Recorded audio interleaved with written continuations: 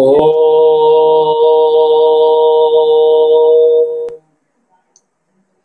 ஸ்ரீராமலிங்காய நம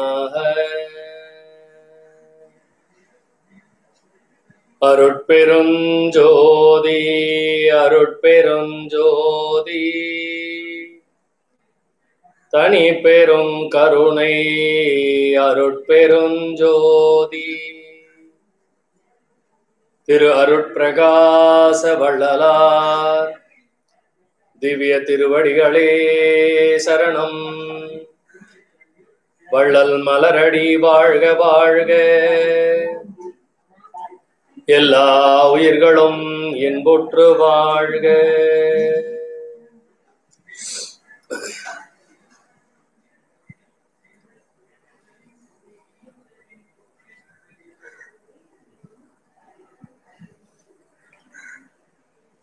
அப்பா நான் வேண்டுதல் கேட்டருள் புரிதல் வேண்டும். ஆறுயிர்கட்கெல்லாம் நான் அன்பு செயல் வேண்டும். எப்பாரும் எப்பதமும் எங்கனும் நாங்கள் சென்றே. எந்தை நினது அருட்புகழை எம்பியிடல் வேண்டும். செப்பாத மேல் நிலைமேல் சுத்த சிவமார்க்கம். திகழ்ந்தோங்க அருட்ஜோதி செலுத்தியிடல் வேண்டும். தப்பேது நான் செய்யணும் நீ பொறுத்தல் வேண்டும். தலைவர் நினை பிரியாதுருகின்ற உறவது வேண்டுவனே. அருளா நான் வேண்டுதல் கேட்டருள் புரிதல் வேண்டும். அணுத்துணையும் சினம் காமம் அடையாமை வேண்டும். மருளாய உலகமெல்லாம் அருள் நீங்கி ஞானமன்றிடத்தே வள்ளல் உனை வாழ்த்தியிடல் வேண்டும். இருளாமையுறல் வேண்டும். என அடுத்தார் சுகம் வாய்ந்திடுதல் வேண்டும். எவ்வுயிரும் இன்படைதல் வேண்டும். பொருளாமோர் திருவடிவில் உடையாயும் நானும். உணர்ந்து கலந்தொன்றாகி பொருந்துதல் வேண்டுவனே.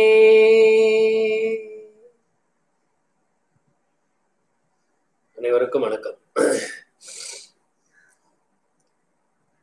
திருமுகங்கள் பார்த்துக்கிட்டு இருக்கோம். இன்று ஏழாவது நாளாக திருமுகத்தை தொடர்கின்றோம்.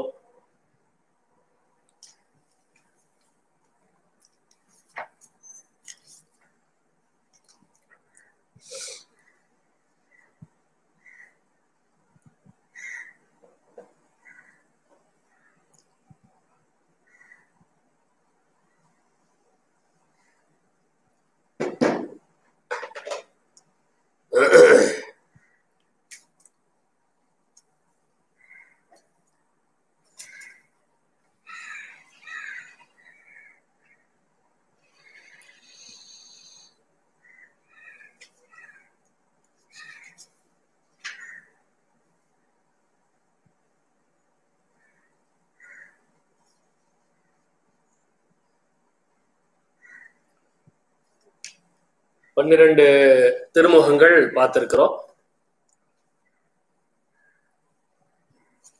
ஒரு இரண்டு திருமுகங்கள் பாலகிருஷ்ண பிள்ளைக்கும் நம்மளுடைய தெய்வநிலையம் புக்குக்கும் வித்தியாசம் இருக்கும்.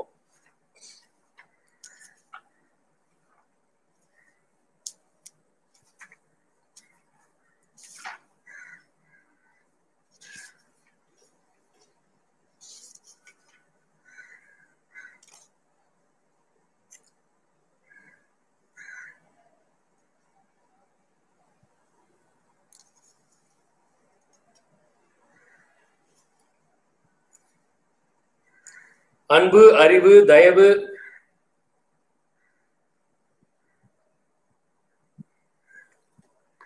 முதலிய சுபகுணங்களை பூண்டு எமது கருத்தினும் கண்ணினும் உவந்து உலாவுகின்ற ஸ்ரீ ரத்ன முதலியார் அவர்கட்கு சிவானுகிரகத்தால் தீர்க்காயுளும் சிவஞானமும் சகல சம்பத்தும் மேன்மேல் உண்டாவதாக.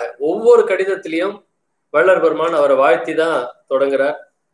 தமது சுபசரித்திர விபவங்களை அடிக்கடி கேட்க விரும்புகின்றேன்.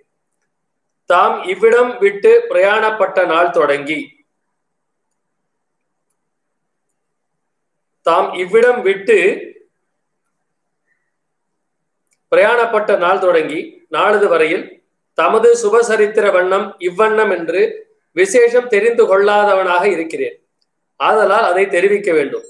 நான் புரட்டாசி அவ்விடம் பிரயாணப்பட்டு வருவதாக ஓர் காரியம் பற்றி நிச்சயித்திருந்தேன்.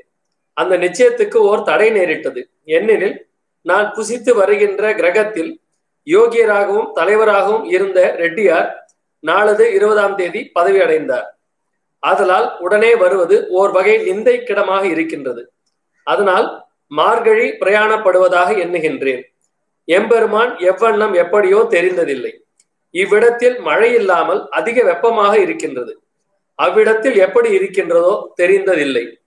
தாம் சிவபஞ்சாட்சர தியானம் பரராகி சதா சிவபஞ்சாட்சர தியான பரராகி சதா சந்தோஷ சகிதராக இருக்க வேண்டுவதே என் வேண்டுகோளாக இருக்கின்றது.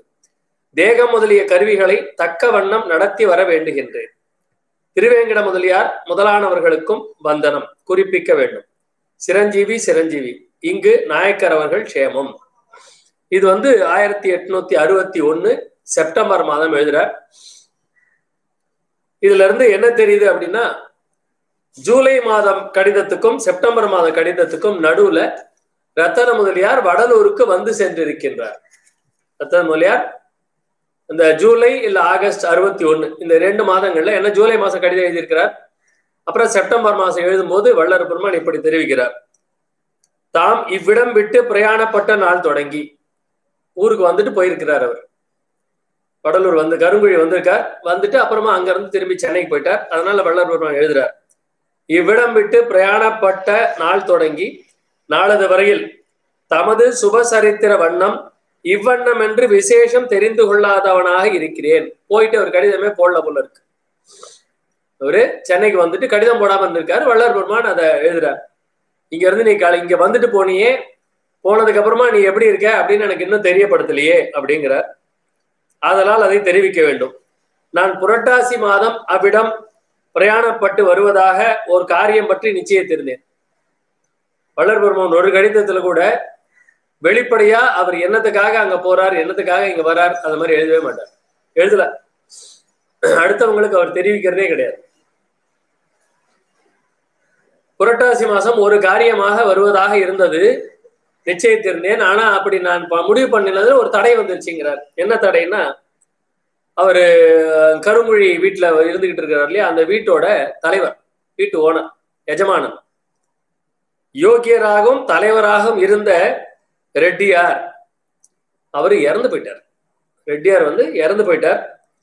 ஆதலால் உடனே வருவது ஓர் வகை நிந்தைக்கிடமாக இருக்கிறது. அவர் அப்பதான் இறந்திருக்கிறாரு. உடனே நான் கிளம்பி வந்தேன்னா அது நல்லா இருக்காது அப்படின்னு சொல்றாரு. ஏன்னா ஒரு துக்கம் நடந்திருக்குது வீட்டுல அந்த வீட்டுல இவர் தங்கி இருக்கிறாரு வருஷ கணக்குல.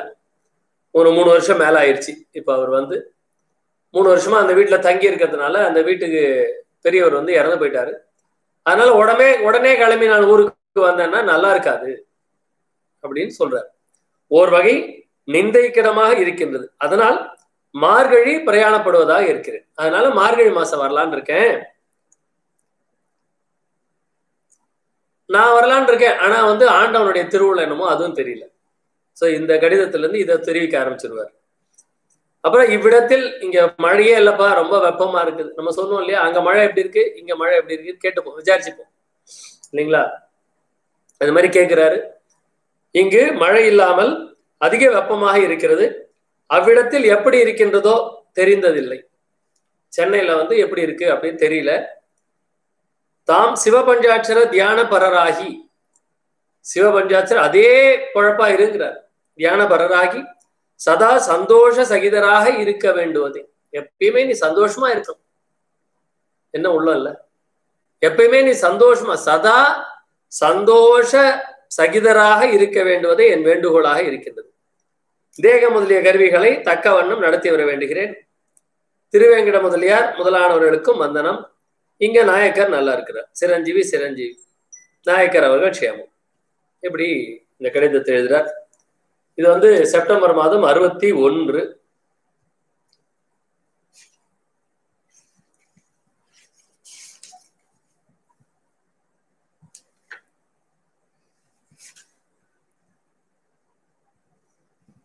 அடுத்த கடிதம் தை மாசம் எழுதுறார்.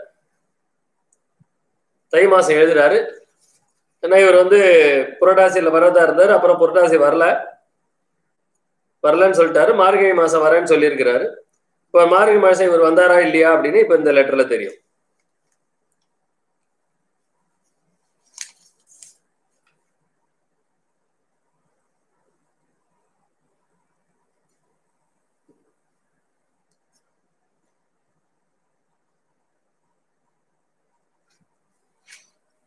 அற்புத குணாகரமாகி எம் உள்ளத்து அமர்ந்த சிரஞ்சீவி ரத்தன முதலியாருக்கு தீர்க்காயுளும் சிவஞானமும் சகல சம்பத்தும் மேன்மேல் உண்டானவாக உண்டாவனவாக.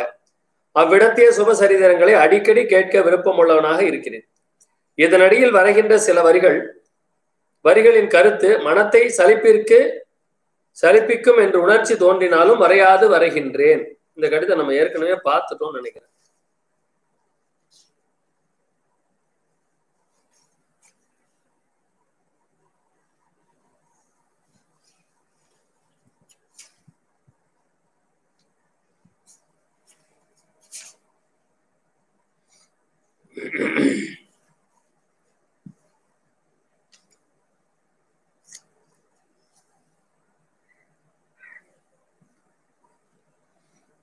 இந்த கடிதம் நம்ம ஏற்கனவே பார்த்துட்டோம்.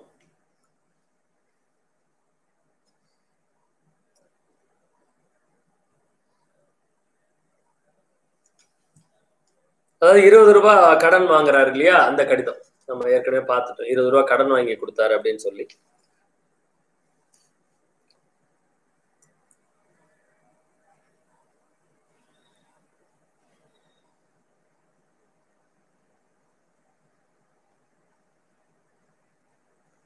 அன்பு அறிவு ஒழுக்கங்கள் முதலிய சுபகுணங்களில் சிறந்து தங்கட்கு சிறந்த தங்களுக்கு சிவகடாட்சத்தால் தீர்க்காயிலும் சகல சம்பத்தும் மேன்மேல் உண்டாவனவாக. புண்ணிய பயனால் பெற்ற தேகத்தை ரொம்ப முக்கியமான கடிதம்.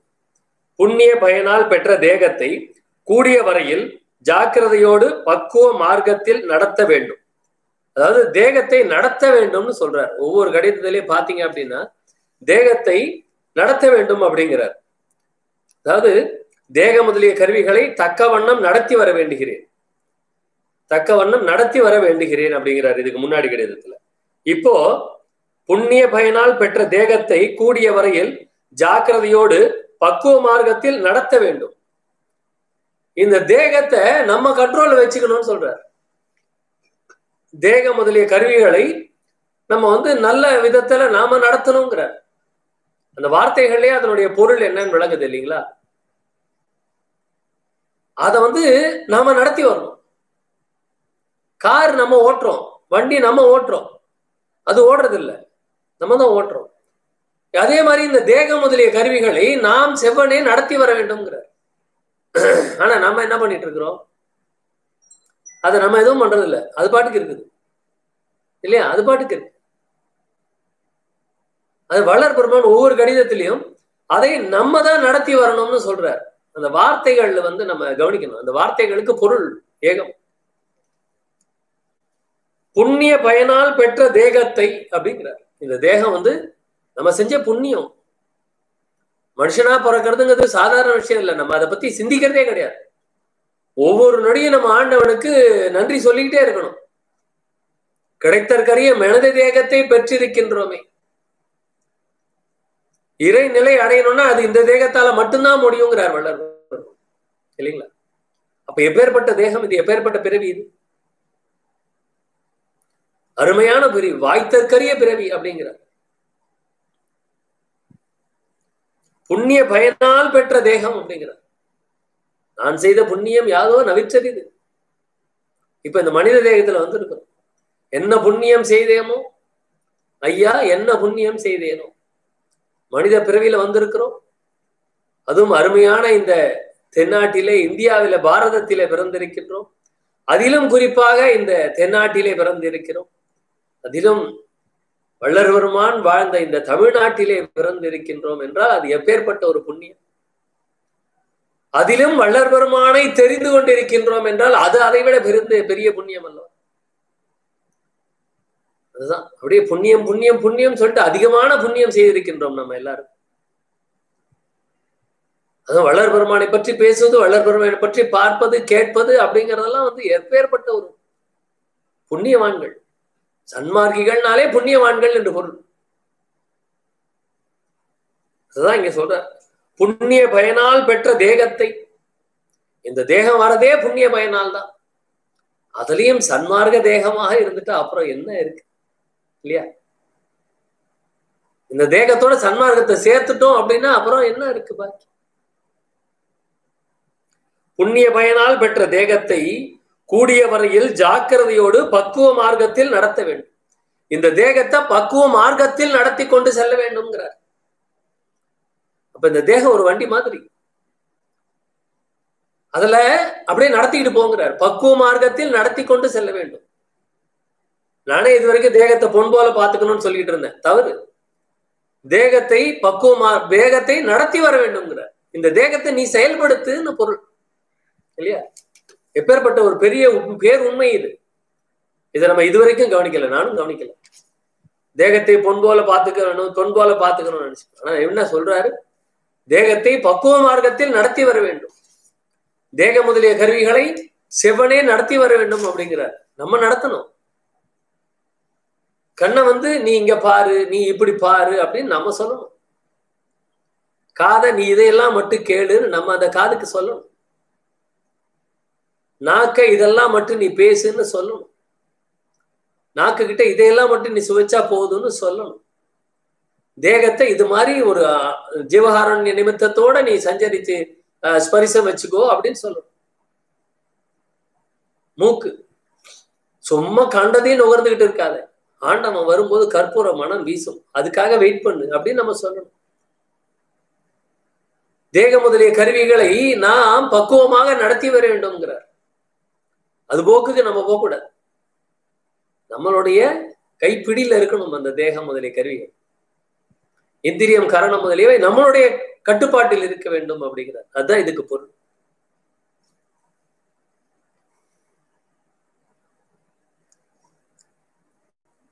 புண்ணிய பயன் புண்ணிய பயனால் பெற்ற தேகத்தை கூடிய வரையில் ஜாக்கிரதையோடு பக்குவ மார்க்கத்தில் நடத்த வேண்டும்.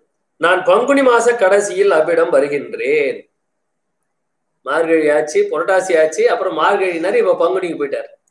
பங்குனி மாச கடைசியில் அவ்விடம் வருகின்றேன். இதன்றியும் இந்த கடிதம் கொண்டு வருகிற அம்மாளுக்கு தாங்கள் கடன் வாங்குகிற இடத்தில் இரண்டு வராகன் கடன் வாங்கி கொடுக்க வேண்டும். லெட்டர் கொடுத்து அனுப்புறார். இந்த லெட்டர் கொடுத்து அனுப்புறார் ஒரு அம்மா கிட்ட கொடுத்து அனுப்புறார். அந்த அம்மாவுக்கு ரெண்டு வராகன் கடன் வாங்கி கொடுங்கிறார். தாங்கள் வாங்குகிற இடத்தில் இரண்டு வராகன் கடன் வாங்கி கொடுக்க வேண்டும். தங்களுக்கு இப்படிப்பட்ட விஷயத்தில் நேரிடுகிற சல்லியங்களை கடவுள் விரைவில் நிவர்த்தி செய்விப்பார் இது நிச்சயம். தற்காலம் நான் வேறொரு நிமித்தம் தனித்து கூடூரை சார்ந்த நெல்லிக்குப்பம் கரும்பாலை ஆடும் தோட்டத்தில் இருக்கின்றேன். இந்த கடிதம் கொண்டு வருகின்றவர்கள் இவ்விடத்தில் வந்து தேகமெளிவை காட்டியபடியால் இதே சமயத்தில் இவ்விடத்தில் எனக்கு வழக்கமாக கடன் கொடுக்கின்றவர்கள் சமீபத்தில் இல்லை. இவர்கள் தேக பக்குவ நிமித்தம் அவ்விடம் போவதாக குறித்தபடி தங்களுக்கு இந்த பிரயாசம் வைத்தேன். மற்ற சங்கதிகளை நான் அவ்விடம் வந்தபோது தெரிந்து கொள்ளலாம் அப்படின்னு எழுதுறார் ஒண்ணும் இல்லை இந்த மா இந்த கடிதத்தை வந்து ஒரு அம்மா கிட்ட கொடுத்து அனுப்புறார். அந்த அம்மா உடம்பு சரியில்லைன்னு வள்ளர் பெருமான பார்க்க வந்திருக்கிறாங்க. வள்ளர் பெருமானுக்கு எப்பயுமே கடன் கொடுக்கறவங்க பக்கத்துல இல்லை. அதனால அது மட்டும் இல்லாம அந்த அம்மா வந்து உடம்பு பார்த்துக்கணுங்கிறதுக்காக சென்னைக்கு வராங்க. உடம்பு குணப்படுத்திக்கிறதுக்காக சென்னைக்கு வராங்க. அதனால வள்ளர் பெருமான் அந்த அம்மாவுக்கு வந்து இரண்டு வராகன் வந்து கடன் வாங்கி கொடு. இரண்டு வராகன் நீ எப்பயுமே வாங்குற இடத்துல கடன் வாங்கி அந்த அம்மாட்ட கொடு அப்படின்னு சொல்லி ரத்ன முதலியாருக்கு கடிதம் எழுதுறார். இது மாதிரி இருக்கக்கூடிய இந்த இதனால வரக்கூடிய சங்கங்கட சங்கடங்களை எல்லாம் ஆண்டவர் சீக்கிரமா சரி பண்ணி கொடுத்துருவார்னு ரத்ன முதலியாருக்கு ஒரு ஆறுதல் மொழியும் சொல்றார். சோ இதுதான் இந்த கடிதத்தின் சாராம்சம். அப்போ உடம்பு சரியில்லைன்னா வள்ளர் பெருமானை பார்க்க போறாங்க. அது நம்ம தெரிஞ்சுக்கணும் நம்பர் ஒன் இல்லையா? வள்ளர் பெருமான் தொடர்ந்து ரெகுலரா அங்க வந்து கரும்பொழி சுத்தி யார்கிட்டயோ கடன் வாங்கி எல்லாருக்கும் கொடுத்துட்டு இருக்கிறார். இதையும் நம்ம தெரிஞ்சுக்கணும் நம்பர் டூ அடுத்தது ரெக்கமெண்டேஷன் லெட்டர் கொடுத்து அனுப்புறாரு. இந்த அம்மா லெட்டர் எடுத்துட்டு வராங்களே இந்த அம்மாக்கு ரெண்டு வராங்கன்னு நீ கடன் வாங்கி கொடு. நீ கடன் வாங்கி கொடு. அப்படின்னு ரெக்கமெண்டேஷன் லெட்டர் எழுதி அனுப்புறாரு. சோ இது மாதிரி வல்லார் பெருமான் அந்த ஒரு ஜீவகாருண்யம் அப்படிங்கிற பணியில தான் இருந்துகிட்டே இருக்கார். அது மட்டும் இல்லாம எங்க போறாரா? கூடலூரை சார்ந்த நம்மளுடைய கடலூர் இருக்கு இல்லையா? அதை சார்ந்த நெல்லிக்குப்பம்ன்ற கிராமத்துக்கு போறார். நெல்லிக்குப்பம் கரும்பாலை ஆடும் தோட்டத்தில் இருக்கின்றேன். அவர் இப்ப கருங்கோயில் இல்ல. நெல்லிக்குப்பத்துக்கு போயிட்டார். கடலூர்ல இருக்கக்கூடிய நெல்லிக்குப்பத்துல கரும்பு ஆலை ஆடக்கூடிய தோட்டம். கரும்புல இருந்து அரைச்சு அதுல இருந்து வெள்ளம் எடுக்கிறது தான் கரும்பு ஆலை தோட்டம். கரும்பு ஆலை ஆடும் தோட்டத்தில் ஆலை ஆடுறதுன்னு சொல்லுவாங்க. பெரிய பாத்திரம் இருக்கும். நல்ல ஒரு அஞ்சு அடி இருக்கும். அஞ்சுக்கு அஞ்சு சதுரமா இருக்கும். ஆனா அது வட்டமா இருக்கும் அந்த பாத்திரம். அந்த பாத்திரத்தை அங்க அங்க கரும்பு தோட்டத்திலேயே பக்கத்திலேயே தான் அதை வைப்பாங்க. அங்க இருந்து கரும்பை வெட்டி வெட்டி எடுத்துட்டு வந்து போடுவாங்க. அந்த கரும்புல இருந்து நம்ம சாறு எடுக்கும் சாறு எடுத்து வெள்ளம் உருட்டி அங்கேயே ரெடி பண்ணிடுவாங்க எல்லாத்தையும். காலையில விடிகாத்தால ஆட ஆரம்பிச்சாங்க. ஆளை ஆட ஆரம்பிச்சாங்க அப்படின்னா சாயங்காலம் வரைக்கும் ஓடும் ஓடி சாயங்காலத்துக்குள்ள வெள்ளம் அப்படியே சும்மா அவ்வளோ அவ்வளோ இனிப்பா இருக்கும். அந்த கரும்பு சாறு வேற மாதிரி இருக்கும். இப்ப நம்ம வந்து கடைகள்ல வாங்கி குடிக்கிறோம் இல்லையா கரும்பு சாறு அது வேற கரும்பு. இந்த வெள்ளம் எடுக்கிறதுக்கு வேற கரும்பு கருப்பு கலர்ல இருக்கும் வெள்ளம் எடுக்கிறது அந்த கரும்புல இருந்து வரக்கூடிய சாறு அந்த சாறை வந்து நம்ம அவங்க அடுப்புல போட்டு காய்ச்சி காய்ச்சி காய்ச்சி வெள்ளமாக்கி எடுப்பாங்க. அதை எடுத்து வடிகட்டி நான் அதெல்லாம் நேர்லயே பார்த்துருக்குறேன். நம்ம கிராமங்கள்ல வந்து எங்க பாட்டி இதுல வந்து. அதெல்லாம் நேரடியா பார்த்து அந்த அந்த அனுபவங்கள்லாம் இருக்கு. அற்புதமா இருக்கும். அந்த வெள்ளம் வந்து சுட சுட எடுத்து உருட்டி அப்படி கையில கொடுப்பாங்க. அப்படி ஆவி பறக்க அப்படி கையில சூடும். அப்படியே மாத்தி மாத்தி எடுத்து அப்படி வாயில போட்டோம் அப்படின்னா அப்படியே கரையும். அந்த வெள்ளம் டேஸ்டே வேற. அந்த மாதிரி ஒரு வெள்ளிக்குப்பம் கரும்பாலை ஆடும் தோட்டத்தில் இருக்கிறேன். அது எப்படி? தனித்து. எல்லாரையும் விட்டுட்டு இவர் தனியா போயிருக்கிறார். நான் வேறொரு நிமித்தம் தனித்து கூடலூரை சார்ந்த நெல்லிக்குப்பம் கரும்பாலை ஆடும் தோட்டத்தில் இருக்கிறேன். சோ வள்ளர் பெருமான் தனித்து இருக்க தொடங்கி இருக்கின்றார். தனித்து இருக்க தொடங்கி இருக்கின்றார். சோ இதுதான் இந்த கடிதத்தின் சாராம்சம். சோ நாங்க நெல்லிக்குப்பம் கரும்பாலை ஆடும் தோட்டத்துல போய் தனியா உட்காந்துருக்கார் அந்த இடத்துல ஒரு அம்மா வந்து அவர்கிட்ட உதவி கேட்கிறாங்க உடம்பு சரியில்லைன்னு வந்து உதவி கேட்கிறாங்க வள்ளர் பெருமான் எப்பயுமே கடன் வாங்குற இடத்துல இருந்து கடன் வாங்க முடியல. ஏன்னா அங்க அவர் இல்லை போல இருக்கு. பக்கத்துல இல்ல அப்படிங்கிறார். அது இல்லாம இந்த அம்மா உடம்பு குணப்படுத்திக்கிறதுக்காக சென்னை வராங்க. அதனால ரத்தன மொழியார் கடிதம் எழுதுறார்? இந்த அம்மா இந்த கடிதத்தை கொண்டு வரக்கூடிய அந்த அம்மாக்கு ரெண்டு வராகன் கடன் வாங்கி கொடு அப்படின்னு லெட்டர் எழுதுறார். இதனால வரக்கூடிய சங்கடங்களை எல்லாம் ஆண்டவர் தீர்த்து வைப்பார் அப்படின்னு அவருக்கு ஆறுதல் மொழி சொல்லி இவர் வந்து கிளம்பி கூடலூர் நெல்லிக்குப்பம் கிராமத்துல போய் கரும்பாலை ஆடுற தோட்டத்துல போய் உட்காந்துக்கிறார் ஸோ இதுதான் இந்த கடிம கடித திருமுகத்தின் சாராம்சம். அடுத்த திருமுகம். அன்பு அறிவு முதலிய நல்லொழுக்கத்தில் சிறந்து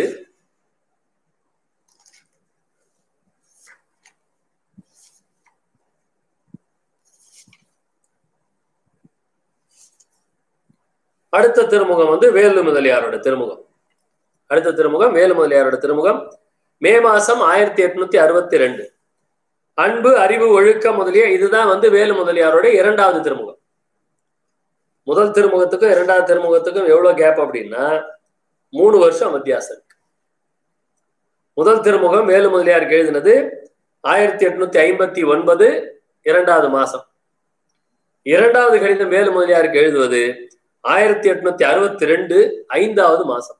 மூன்று வருடங்கள் மூன்று மாதங்கள் ஆகி இருக்கின்றது அதுக்கப்புறமா தான் இவருக்கு இரண்டாவது கடிதம் எழுதுறார். இரண்டாவது கடிதம் எழுதுறாருன்னு சொல்லக்கூடாது தப்பு. நமக்கு கிடைத்த கடிதங்களில் இது இரண்டாவது கடிதம். ஏன்னா இவர் எவ்வளவு எழுதியிருக்கலாம்? நமக்கு கிடைக்காமல் போயிருக்கலாம். ஏன்னா மூன்று வருஷம் கழிச்சு யா கடிதம் எழுதுவார் அப்படின்னு ஒரு சிந்தனை.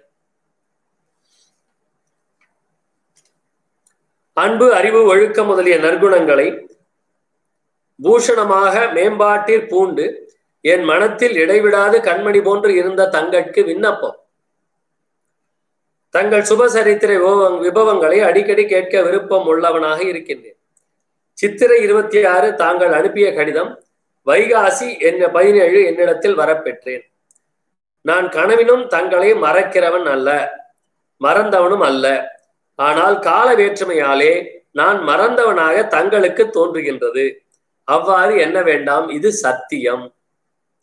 நான் இந்த விசை பிரயாணப்பட்டு வருவது அவசியமானது என்று நம்பிக்கையோடு சொல்லுவேன். ஆயினும் சில தினம் ஏறும் அல்லது குறையும். அவ்வளவே அன்றி வருவது மாத்திரம் உண்மை. ஆகலில் தாங்கள் வர வேண்டுவதில்லை.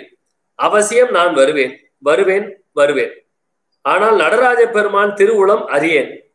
எவ்விதத்திலும் வருவதற்கு மாத்திரம் சந்தேகம் இல்லை தங்கள் ஞாபகம் எக்காலத்திலும் என் மனதை விட்டு நீங்காது. விரித்து எழுதுவதற்கு சமயம் நேரிட நீங்காது நீங்காது. விரித்து எழுதுவதற்கு சமயம் நேரிடாதபடியால் இந்த மட்டில் நிறுத்தினேன். மன்னிக்க வேண்டும் அநேக வந்தனம். இங்கனம் சி ராமலிங்கம் இந்த கடிதம் ஆயிரத்தி எட்நூத்தி அறுபத்தி இரண்டு மே மாதம். அப்படின்னு போட்டிருக்காங்க. இதுக்கு முன்னாடி அவர் வந்து வேலு முதலியார் வந்து சித்திரை மாசம் ஒரு கடிதம் எழுதியிருக்கிறார். அது இவருக்கு வைகாசி மாசம் கிடைச்சிருக்கு. அதுல வந்து ரொம்ப வருத்தப்பட்டு எழுதியிருப்பார்னு நினைக்கிறேன். இந்த மாதிரி என்ன நீ கண்டுக்கிறதே இல்லை அப்படின்னு வருத்தப்பட்டிருப்பார் வேலு முதலியார். அதனால வல்லர் பெருமா எழுதுறார்.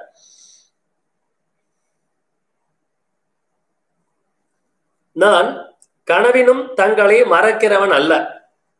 மறந்தவனும் அல்ல. இந்த ஐஸ் கட்டி தூக்கி வைக்கிறது அப்படின்னா வள்ளலார்கிட்ட தான் கத்துக்கணும்.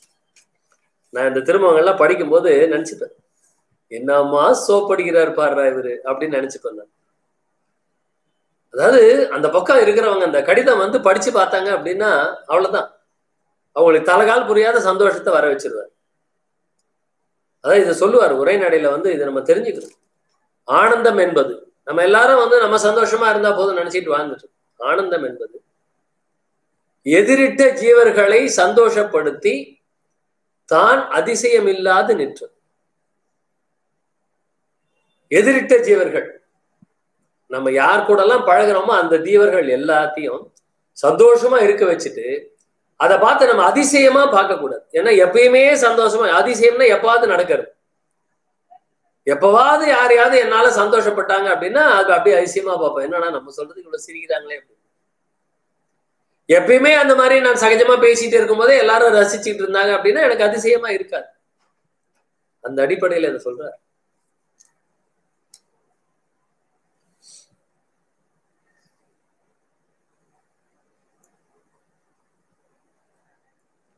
தங்களை மறக்கின் மறக்கின்றவன் அல்ல மறந்தவனும் அல்ல. ஆனால் கால வேற்றுமையாலே நான் மறந்தவனாக தங்களுக்கு தோன்றுகிறது. கால வேற்றுமையாலே மறந்தவனாக தங்களுக்கு தோன்றுகிறது. அவ்வாறு என்ன வேண்டாம்? இது சத்தியம்ங்கிற. இது சத்தியம். அவ்வாறு அப்படி நினைக்காதப்பா நீ. நான் உன்னெல்லாம் மறக்க மாட்டேன்பா. நான் மறந்ததே இல்லப்பா உன்ன. அப்படிங்கிற. சத்தியமா சொல்றேன்ப்பா உன்னை. நான் மறந்ததே இல்லப்பா. அப்படிங்கிற. இல்லையா? அப்ப அந்த பக்கம் இருக்கிறவனுக்கு எவ்வளவு சந்தோஷமா இருக்கு. சரிப்பா விடுப்பா அப்படிம்பாரு. இல்லையா? யாரா இருந்தாலும் சரி விடுங்கப்பா சரி வாகட்டும் போகணும் போட்டோம் போனது போட்டோம் அப்படிமா அது மாதிரி வள்ளர் பெருமான்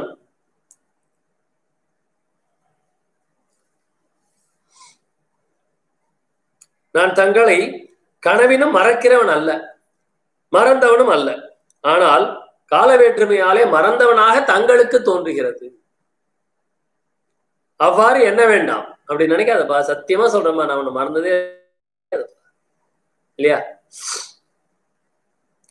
நான் இந்த விசை பிரயாணப்பட்டு வருவது அவசியமானது என்று நம்பிக்கையோடு சொல்லுது.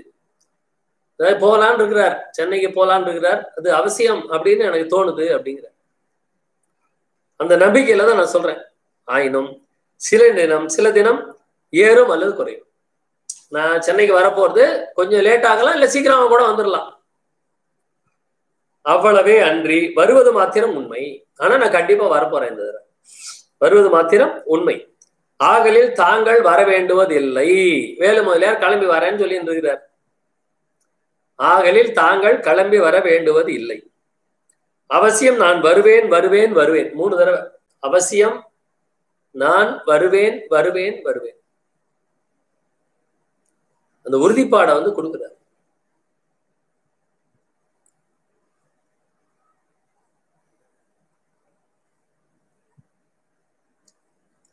ஆகலில் தாங்கள் வர வேண்டுவதில்லை. அவசியம் நான் வருவேன் வருவேன் வருவேன். ஆனால் நடராஜ பெருமான் திருவுளம் அறியேன். இது ஒரு கொக்கி போட ஆரம்பிச்சிட்டார். நான் வரலாம் தான் நினைக்கிறேன். ஆனா ஆண்டவனுடைய திருவருள் கூட்டி வச்சாதானே நம்ம போக முடியும். அதனால அதை சொல்றார். ஆனால் நடராஜ பெருமான் திருவுளம் அறியேன். எவ்விதத்திலும் வருவதற்கு மாத்திரம் சந்தேகம் இல்லை எப்படி இருந்தாலும் நான் கண்டிப்பா வருவேன். அது முன்ன பின்ன ஆகலாம். அவ்வளவுதான். தங்கள் ஞாபகம் எக்காலத்திலும் என் மனதை விட்டு நீங்காது விரித்து எழுதுவதற்கு என் எக்காலத்தும் என் மனதை விட்டு தங்களுடைய நினைவு நீங்காது. எப்பயும் நான் உன்னையதாம நினைச்சுன்னு இருக்கேன் அப்படின்னு சொல்றார். விரித்து எழுதுவதற்கு சமயம் நேரிடாதபதியால் இந்த மட்டில் நிறுத்தினேன் மன்னிக்க வேண்டும். அநேக வந்து டீட்டெயிலா எழுதலாம் தான் ஆசை ஆனா வந்து சமயம் இல்லை எனக்கு. நேரம் இல்லை. அப்படிங்கிறாரு. அதனால நான் நீட்டிக்காம இதோட நான் நிறுத்திக்கிறேன் அப்படின்னு சொல்லி அந்த மட்டில் நிறுத்தி பண்ணியிருக்கிறார்.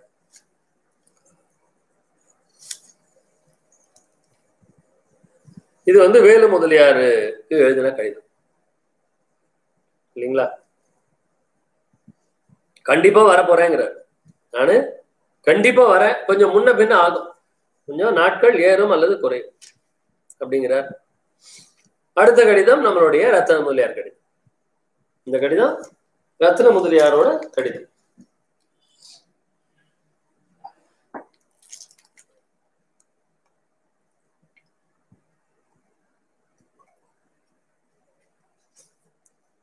பூசணிக்காய் ஜூஸ்.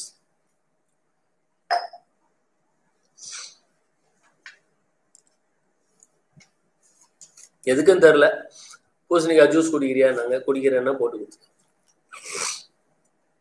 அடுத்த கடிதம். ஜூலை மாதம் ஆயிரத்தி எட்நூத்தி அறுபத்தி ரெண்டு. ஜூலை மாதம் ஆயிரத்தி எட்நூத்தி அறுபத்தி ரெண்டு. அங்க வந்து திருமுகம் பதினேழாவது திருமுகமாக இருக்கும் தெய்வ நிலையம் புத்தகத்துல. அன்பு அறிவு முதலிய நல்லொழுக்கத்தில் சிறந்து என் உயிரை ஒத்து உள்ளத்தில் இருந்த சிரஞ்சீவி ரத்தின முதலியாருக்கு சிவகடாட்சத்தினால் தீர்க்காயிலும் சகல சம்பத்தும் மேன்மேல் உண்டாவதாக.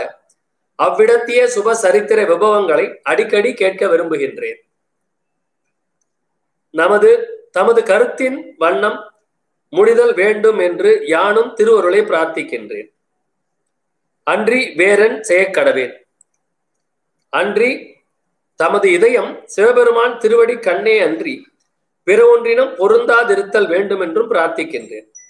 தாம் உலகியற்கண் ஒழுகுங்கால் கழிநடை ஒருவன் கட்பார்வை போன்று ஒழுகல் வேண்டும் என்றும் பிரார்த்திக்கின்றேன். அன்றி உணவு உறக்கம் முதலியவற்றால் உடம்பை மெல்லென நடத்தல் வேண்டும். இஃது என் வேண்டுகோள். இனி மகாராஜராஜஸ்ரீ நாயக்கர் அவர்கள் மகாராஜராஜஸ்ரீ வேலு முதலியாரிடமாக இருப்பதாக அவரது கடித்தத்தால் அறிந்தேன். தமது இடத்தில் இருப்பதாக சிலர் சொல்லால் அறிந்தேன். அவர் எங்கு இருப்பினும் அவருக்கு தாம் அறிவிப்பது. நான் சென்னப்பட்டணம் அவசியம் வர வேண்டும். ஆகலில் நான் அவ்விடம் வருவதற்கு எவ்வளவு காலம் பிடித்தாலும் அது பரியந்தமும் பட்டணத்தில் தானே இருக்க வேண்டும். நான் வந்த பின்பு உடன் கூட்டிக் கொண்டு ஆண்டவன் திருவுள்ளப்படி சஞ்சரிக்கலாம். இதனை தெரிவிக்க வேண்டும். தற்காலத்தில் யான் வசிக்கும் இடம் இதுவென்று குறிப்பதற்கு கூடாத பல இடங்களாக இருத்தலில் இருக்குமிடம் இதுவென்று குறிக்கவில்லை. மன்னிக்க வேண்டும். சிரஞ்சீவி சிரஞ்சீவி சிரஞ்சீவி. ராமலிங்கம். பதினைந்து ஏழு ஆயிரத்தி எட்நூத்தி அறுபத்தி ரெண்டுல இந்த கடிதம் எழுதப்பட்டிருக்கிறது. இந்த கடிதத்துல நம்ம தெரிஞ்சுக்க வேண்டியது என்னன்னா ரத்தன முதலியாருக்கு அட்வைஸ் பண்றார். ஏன்னா அவர் ஏதோ சரியில்லை. சரியில்லைன்னா உலகியல்ல கொஞ்சம் அதிகமா இருக்குது. அதனால வள்ளர் பெருமான் அவருக்கு வந்து அறிவுறுத்துகின்றார். என்னமோ அவர் கேட்டார் போல இருக்கு தமது கருத்தின் கண்ணம் தமது கருத்தின் வண்ணம் முடிதல் வேண்டும் என்று யானும் திருவருளை பிரார்த்திக்கின்றேன் அப்படிங்கிறார். அவர் ரத்னமல்லியார் என்னமோ கேட்டிருக்கிறார் வள்ளல் பெருமான்ட்டு அந்த கடிதம் நமக்கு கிடைக்கல. அதுக்கு வள்ளல் பெருமான் ஆசீர்வாதம் சொல்றார் உன்னுடைய கருத்தின் வண்ணம் எப்படியோ அப்படியே இருக்கட்டும் நானும் வந்து பிரார்த்தனை பண்றேன் அப்படிங்கிறார். அது இல்லாம வேற என்ன நான் செய்ய முடியும்? அன்றி வேறு என் செய்ய கடவேன் அன்றி தமது இதயம் சிவபெருமான் திருவடி கண்ணே அன்றி பிற ஒன்றிலும் பொருந்தாதிருத்தல் வேண்டும் என்றும் பிரார்த்திக்கிறேன். நீ எப்ப பாரு இந்த சிவசிந்தனையோட இரு. வேற எதுலயும் நான் உனக்கு நாட்டை போகக்கூடாதுன்னு ஆண்டவன் கிட்ட வள்ளர் பெருமான் விண்ணப்பிக்கிறார். பிரார்த்தனை பண்றார். ரத்தன முதலியார் நல்லா இருக்கணும்னு வள்ளர் பெருமான் பிரார்த்தனை பண்றார். பேர்பட்ட பாக்கியம் ரத்தன முதலியாருக்கு இல்லையா?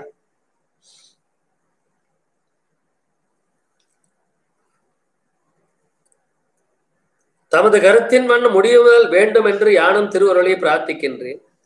அன்றி வேறன் செய்ய கடவேன். அன்றி தமது இதயம் சிவபெருமான் திருவடி கண்ணே அன்றி பிற ஒன்றிடம் பொருந்தாது இருத்தல் வேண்டும். அப்படியே நான் பிரார்த்தனை பண்றேன். நீ சிவபெருமானத்தான் வணங்கணும்னு நான் உனக்கு பிரார்த்தனை பண்றேங்கிற. இல்லையா? தாம் உலகியற்கண் ஒழுகுங்கால் கழி நடை ஒருவன் கட்பார்வை போன்று ஒழுகல் வேண்டும் என்றும் பிரார்த்திக்கின்றேன். இது என்னது இது? கழி நடை ஒருவன் அப்படின்னு போடுறாரு.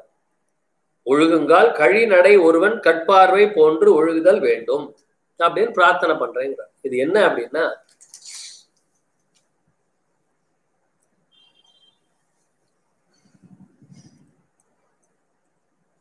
உலகியற்கண் ஒழுகுங்கால். நீ உலகத்துல உலகியல்ல நீ இருக்கும் பொழுது எப்படி இருக்கணும்னு சொல்றார். இது அவருக்கு மட்டும் இல்ல நம்ம எல்லாருக்கும் சொல்ற உலகியல்ல நீ ஒழுகி இருக்கும் பொழுது கழிநடை ஒருவன் கற்பார்வை போன்று இருத்தல் வேண்டும். ரெண்டு கொம்பு இந்த பக்கம் இப்படி இப்படி வைப்பாங்க கொம்பு. அந்த பக்கம் அதே மாதிரி கொம்பு வைப்பாங்க. நடுவுல இந்த இந்த மார்க் இருக்கு இல்லையா இந்த மார்க் இந்த மார்க்குக்கு இங்கேயும் அங்கேயும் ஒரு கொம்பு வச்சிருவாங்க. வச்சுட்டு அது மேல ஒரு ஆள் நின்றுட்டு ஒரு குச்சி பிடிச்சிப்பார் இப்படியே பேலன்ஸ் பண்ணிக்கிட்டே நடந்து வேற போவார் அந்த கொம்புல. கீழே வந்து அப்படியே இருக்கும். அந்த கொம்புல வந்து இவர் அது நடந்து வேற போவார். ஸோ இதுதான் அப்படி நடந்து போகும்போது அவங்களுடைய கவனம் எல்லாம் எங்க இருக்கும்? அந்த கொம்புல நடக்கிறாங்க இல்லையா? அந்த கவனம் எல்லாம் அவங்களுக்கு வேற எங்கேயும் சிதறையே போகாது. அவ்வளவு பேர் சுத்தி நின்று வேடிக்கை பார்த்துட்டு இருப்பாங்க. அவங்களுடைய கவனம் அந்த கொம்பு மேல பத்திரமா நடந்து அந்த பக்கம் கிராஸ் பண்ணணுங்கிறது தான் கவனம் ஃபுல்லா இருக்கும். இல்லைங்களா? பாத்திருக்கீங்களா அவங்களுடைய கவனம் ஃபுல்லா அதில் தான் இருக்கும். வேற எதுலயும் கவனம் இருக்காது. அது மாதிரி நீ உலகியற்கண் ஒழுகும் பொழுது கழிநடை ஒருவன் கட்பார்வை போன்று ஒழுகல் வேண்டும் என்று பிரார்த்திக்கின்றேன். நீ உலகியல்ல இருக்கும் பொழுது எப்படி இருக்கணும்னா சிவசிந்தனையோட சொன்னார் இல்லையா? எந்த வேலை செய்யணும் சிவசிந்தனையோடு செய்தல் வேண்டும். அவன் எப்படி கண்ணு கருத்துமா இருப்பானோ அந்த மாதிரி நீ வந்து உலகியல்ல கண்ணு கருத்துமா இருக்கணும். பத்திரமா இருக்கணும். கொஞ்சம் ஏமாந்தீங்கன்னா மாயை அப்படியே ஃபுல்லா இழுத்துட்டு போயிடும்னு பொருள்.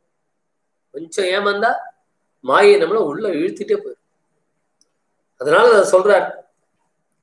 உலகியற்கண் ஒழுக வேண்டும் ஒழுங்குங்கால் கழிநடை ஒருவன் கட்பார்வை போன்று ஒழுகுதல் வேண்டும் என்று பிரார்த்திக்கின்றேன். அன்றி உணவு உறக்க முதலியவற்றால் உடம்பை மெல்லன நடத்தல் வேண்டும். இந்த உடம்பை நடத்தல் வேண்டும் அப்படின்னு சொல்றார்.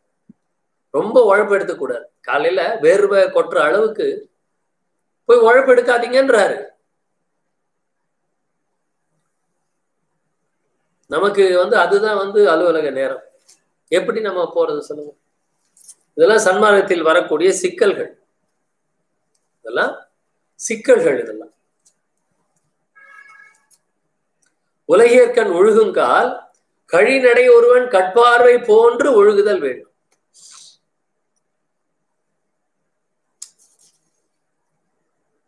அன்றி உணவு உறக்கம் முதலியவற்றால் உடம்பை மெல்லென நடத்தல் வேண்டும். இத்தியன் வேண்டுகோள். உணவு உறக்கம். ஆகாரம் உறக்கம் மைதூனம் பயம். இல்லையா? சோ இந்த நாலும் தான் தேக நஷ்டத்திற்கு காரணம். அப்ப இந்த பயம் அப்படின்னு சொல்லக்கூடியதெல்லாம் ஆகாரம் அப்படின்னு சொல்லக்கூடியது உறக்கம் அப்படின்னு. இந்த ரெண்டு தான் முதல் பிரதானமா நிக்குது. ஆகாரம் உறக்கம் ரெண்டு தான் பிரதானமா நிக்குது. ஏன்னா மற்றதெல்லாம் நம்ம நம்மளை வந்து தள்ளிதான் நிற்கும் நம்ம கெட்டிய வராது. அது மாதிரி இங்க தாம் உலகிற்கண் ஒழுகுங்கால் கழிநடை ஒருவன் கற்பார்வை போன்று ஒழுகுதல் வேண்டும். அன்றி உணவு உறக்க முதலியவற்றால் உடம்பை மெல்லென நடத்தல் வேண்டும். உடம்பும் உறக்கம் இது ரெண்டு தான் அதை மெல்லென நடத்தல் வேண்டும்ங்கிற அதை மெல்ல நடத்தல் வேண்டும். இஃது என் வேண்டுகோள்.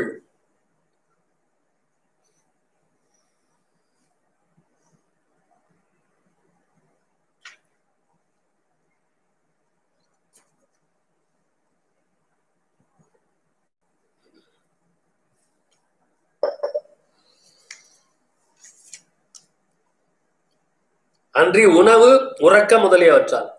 உணவு எப்படி இருக்கணும் அப்படின்னு நம்மளுக்கு நித்திய கிரமதியில வல்லர் பெருமான் அருமையா எடுத்து சொல்லியிருக்கிறார். பழைய உணவுகள் உட்கொள்ளக்கூடாது. சூடான பாத்திரத்து பா பதார்த்தங்களை அறிந்து உண்ணுதல் வேண்டும். இப்படி நிறைய விளக்கங்கள் சொல்லியிருக்கிறார்.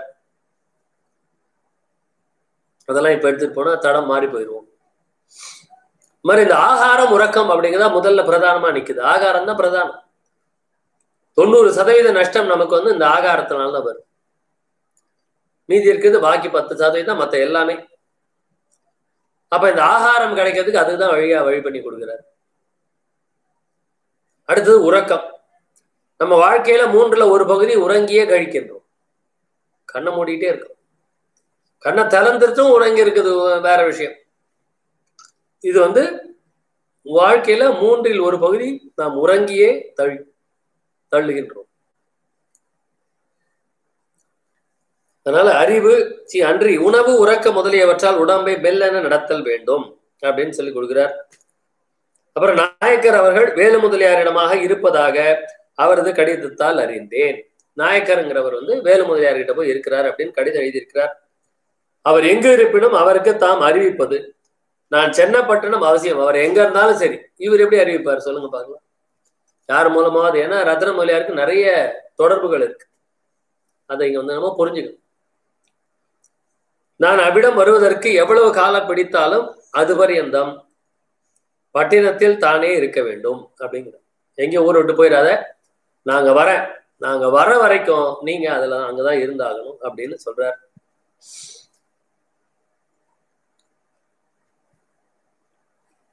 நான் வந்த பின்பு உடன் கூட்டிக் கொண்டு ஆண்டவன் திருவுள்ளப்படி சஞ்சரிக்கலாம். ரத்தன முதலியார் வள்ளர் பெருமான் கூடவே சுத்தணும்னு ஆசைப்படுறாரு வேற ஒண்ணுங்க நான் உங்களோடயே இருந்துடுறேன் அப்படிங்கிறார். ஐயா ஏதோ சமாதானம் சொல்லி அவரை திருப்பி அனுப்பிட்டார். அனுப்பிட்டு அடுத்த சமாதானம் கடிதத்துல சொல்றார். நீங்க போய் இன்னும் கடிதமே போடல.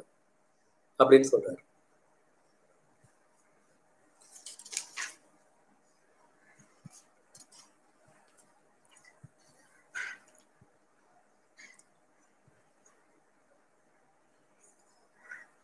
நான் வந்து கண்டிப்பா வரப்போறேன். அதனால எவ்வளவு காலம் ஆச்சுனாலும் நீங்க அங்கேயே தான் இருக்கணும். நீங்க கிளம்பி வர வேண்டாம் அப்படின்னு பொருள். பட்டணத்தில் தானே இருக்க வேண்டும். நான் வந்த பின்பு உடன் கூட்டிக் கொண்டு ஆண்டவன் திருவிழப்படி சஞ்சரிக்கலாம். ரத்தன மொழியாருக்கு திரும்பி மெட்ராஸ்க்கு போறதுக்கு பிடிக்கல. வடலூர் வந்து அவர் கூட கொஞ்ச நாள் இருந்துட்டு எப்படி பிடிக்கும்? ஆனா அவர் போக பிடிக்கல. வள்ளர் பெருமான் தான் அவரை ஃபோர்ஸ் பண்ணி அனுப்புறாரு நீ போய் இரு நான் உன்னை கூப்பிட்டுக்கிறேன் அப்படின்னு சொல்லி அனுப்பியிருக்கிறார்.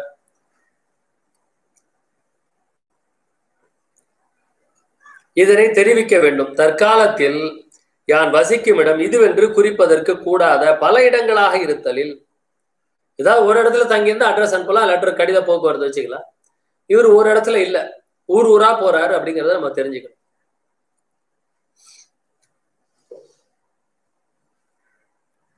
தற்காலத்தில் யான் வசிக்கப்படும் இதுவென்று குறிப்பதற்கு கூடாத பல இடங்களாக இருத்தலில். பல இடங்கள்ல போய் போய் தங்கிட்டு வர்றாரு. அதனால இந்த இடத்துல தான் நான் இருக்கேன்னு தெரியப்படுத்த முடியலன்னு சொல்ல வர்றார்.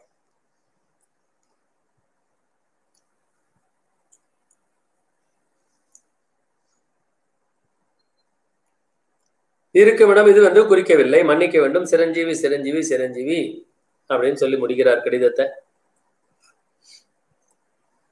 அடுத்து ஒரு கடிதம் பார்க்கலாம். நேரம் இருக்கு. அன்பு அறிவு செறிவு கேள் கல்வி கேள்வி முதலியவள் முதலியவளிலிருந்து சிவபெருமான் திருவடி நேயத்தில் சிறந்து என்னன் என் அன்பிற்கு இயைந்து விளங்கிய சிரஞ்சீவி ரத்ன முதலியார். சிவகடாட்சத்தால் சிவஞானமும் தீர்க்காயலும் சகல சம்பத்தும் மேன்மேல் உண்டாவதாக தமது சுபசரித்திர விபவங்களை அடிக்கடி கேட்க விரும்புகிறேன். நான் ஆடி புறப்பட்டு கூடலூருக்கு போய் ஐப்பசி பதினாலு கருங்குழிக்கு மீண்டும் வந்தேன். இவர் வந்து சொல்றாரு இல்லையா கூடலூர் போறேன்னு சங் கரும்பு ஆலை ஆடுற இடத்துக்கு போயிட்டு திரும்பி வந்துட்டார். திரும்பி வந்துட்டார். எப்போ வந்திருக்கிறாரு? ஆடி மாசம் போயிட்டு ஐப்பசி மாதம் வர்றார். ஆடி மாசம் போயிட்டு ஐப்பசி மாதம் வர்றார். வரினும் இன்னும் இருபது தினத்தில் வடமேற்கே ஓர் ஊருக்கு போய் அங்கிருந்து திருவொற்றியூருக்கு வருவதாக நிச்சயித்திருக்கிறேன். வடமேற்கே எங்கேயோ போறார் எந்த ஊருன்னு தெரியல. காஞ்சிபுரமா இருக்கும்னு நான் நினைக்கிறேன். போயிட்டு அங்கிருந்து திருவொற்றியூருக்கு வர போறதா சொல்றார். வடமேற்கே ஓர் ஊருக்கு போய் அங்கிருந்து திருவொற்றியூருக்கு வருவதாக நிச்சயித்திருக்கிறேன். நான் வடமேற்கே போக கருதிய ஊருக்கு போய் எந்த ஊருன்னு சொல்லலாம்ல? சொன்னார் ரத்னமுதலர் கிளம்பி அந்த ஊருக்கு வந்துருவாருன்னு சொல்ல மாட்டேங்கிறார். ரொம்ப டெக்னிக்கல் அது ஐயா வந்து பயங்கரமா உஷார். வடமேற்கே ஒரு ஊருக்கு போய் அங்கிருந்து திருவொற்றியூருக்கு வருவதாக நிச்சயித்திருக்கிறேன். நான் வடமேற்கே போக கருதிய ஊருக்கு போய் அவ்விடத்தே முடிக்க வேண்டிய காரியத்தை முடித்துக் கொண்டு அங்கிருந்து புறப்படுவதற்கு சுமார் மூன்று மாதம் பிடிக்கும் போல் தோன்றுகிறது. ஆகலால் தாம் தேக முதலிய கருவிகளை செவ்வ நிறுத்தி நடத்த வேண்டும் என்றும் எழுதுவது தவிர வேறொன்றும் எழுதுவது அவசியமாக தோன்றவில்லை. நமது சிவபெருமான் திருவடிகளையும் சிவ பஞ்சாட்சரத்தையும் இடைவிடாமல் தியானம் செய்து வர வேண்டும் என்பது ஒன்றே முக்கியம் என்று தமது குறிப்பில் கூறுகின்றார். என்ன அப்படின்னா ஆடி மாசம் கிளம்பி கூடலூருக்கு போயிட்டு சக்கர் கரும்பு ஆலை ஆடுற இடத்துல இருந்து போயிட்டு ஐப்பசி மாசம் திருப்பி வர்றார். கரும்பொழிக்கு வந்துட்டார். அப்படி வந்தா கூட இன்னும் இருபது நாளுக்குள்ள வடமேற்க போக போறேன்றார். வடமேற்கு திசையை நோக்கி இன்னும் ஒரு இரண்டு வாரத்துக்குள்ளார நான் பயணப்பட போறேன் அப்படின்னு சொல்ல வர்றார். அதுக்கு ஒரு மூணு மாசம் ஆகுன்றார் மூணு மாசம் ஐயா வந்து டிராவல்ல இருக்க போறாருன்னு அர்த்தம். அங்கங்க போக போறாரு. மூணு மாசம் பிடிக்கும் போல் தோன்றுகிறது. ஆகலால் தாம் தேக முதலிய கருவிகளை செவ்வ நிறுத்தி நடத்த வேண்டும் என்று எழுதுவது தவிர வேறொன்றும் எழுதுவது அவசியமாக தோன்றவில்லை.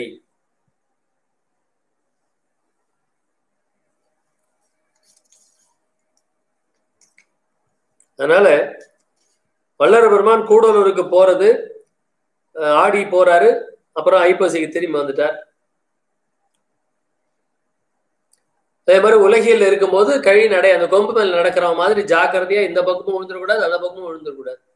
படுஜாக்கிரதையா நடக்கணும் அப்படின்னு சொல்லியிருக்கிறார். சோ இந்த மாதிரி தான் வந்து வடமேற்கே ஒரு ஊரை நோக்கி பயணம் செய்ய போவதாக வள்ளல் பெருமான் அறிவுறுத்துகின்றார். அது எந்த இடம்னு சொல்லல. ஏன்னா சொல்லியிருந்தா உடனே இவங்க எல்லாரும் கிளம்பி வந்துருவாங்கன்ற ஒரு அடிப்படையில் இருக்கு.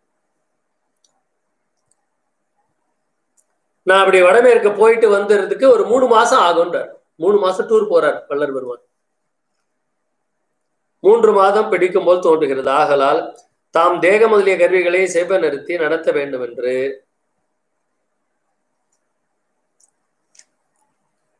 ஆகலால் தாம் தேக முதலிய கருவிகளை செவ்வ நிறுத்தி நடத்த வேண்டும் என்று எழுதுவது தவிர வேறொன்றும் எழுதுவது அவசியமாக தோற்றவில்லை நமது சிவபெருமான் திருவடிகளையும் சிவ பஞ்சாட்சரத்தையும் இடைவிடாமல் தியானம் செய்து வர வேண்டும் என்பது ஒன்றே என்பது ஒன்றே முக்கியம் என்று தமது குறிப்பில் காணப்பட்டது. ஆகலில் குறித்தேன் இல்லை. ஜாக்கிரதையோடு இருக்க வேண்டும். திரு வேங்கட முதலியார் முதலானவர்களுக்கும் என் வந்தனம். பாருங்க எங்கேயோ பட்டாசு வெடிச்சு திடுக்குன்னு தூக்கி போட்டுச்சு. இங்கே பட்டாசு வெடிக்கிறாங்க. ஒரு வெடிதான் ஒரு சத்தம் தான். அந்த சத்தம் வந்தோடனே திடுக்குன்னு தூக்கி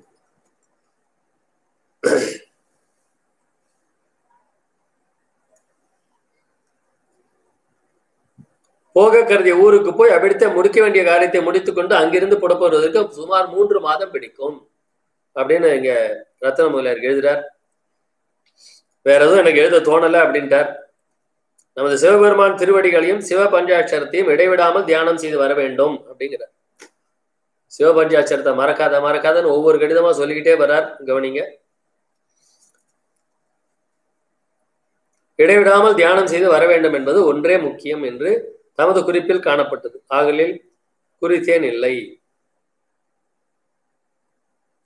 ஜாக்கிரதையோடு இருக்க வேண்டும் என திரு வேங்கட முதலியார் மூதாதனவருக்கும் என் வந்தனம் குறிப்பிக்க வேண்டும் அப்படின்னு சொல்லி சொல்றார். ரொம்ப அழகா ஆரம்பிக்கிறார் ரொம்ப அழகா முடிக்கிறார். இந்த கடிதத்துல இருந்து என்ன சொல்ல வர்றார் அப்படின்னா நான் வந்து வடமேற்க ஒரு ஒரு காரியமா போக போறேன். அது என்ன காரியம்னு சொல்ல மாட்டார். அந்த காரியமா போறேன். அந்த காரியம் முடிச்சிட்டு நான் திரும்பி சென்னைக்கு வர்றதுக்கு ஒரு மூன்று மாதம் பிடிக்கும். ஒரு மூணு மாசம் ஆகும். அது வரைக்கும் சாலை முதலிய கருவிகளை செவனே நடத்தி வர வேண்டும்ங்கிறார். வேற ஒன்றும் எழுத தோணல.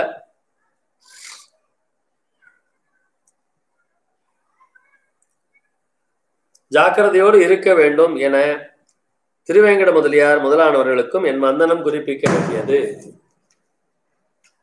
திருவேங்கட முதலியாருக்கும் வந்தன வந்தனத்தை சொல்லி இவர் இந்த கடிதத்தை எழுதினார். ஸோ இதுதான் இந்த கடிதத்தின் சாராம்சம்.